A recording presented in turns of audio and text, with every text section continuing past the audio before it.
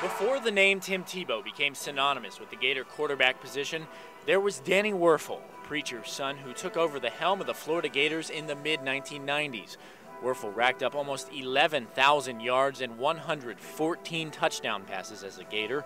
He's most known for his Heisman winning performance in 1996, leading the Gators to their first national championship. Sometimes I wonder if that really happened. Know, it's like it was such an amazing experience. I caught up with him during the Florida Tennessee game. This time, he was on the field as a fan, not a player. Oh man, this is a phenomenal era for the Gators to see Coach Meyer come in, to see Tim Tebow and company come in and, and not just win, but the way they're doing it with such class, with integrity.